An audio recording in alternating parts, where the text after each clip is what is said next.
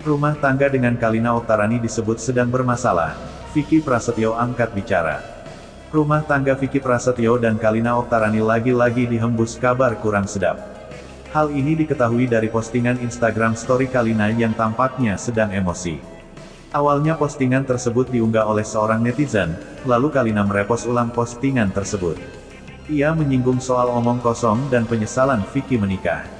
Saat ditemui di kawasan Tendean, Jakarta Selatan, Kamis tanggal 27 Mei tahun 2021, malam, Vicky Prasetyo pun angkat bicara.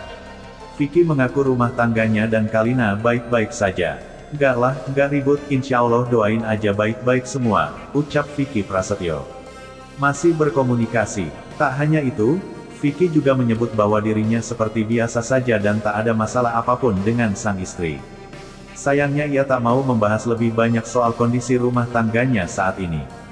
Ngobrol ada, kita ngobrol biasa kok, udah ya makasih semuanya, kata Vicky Prasetyo.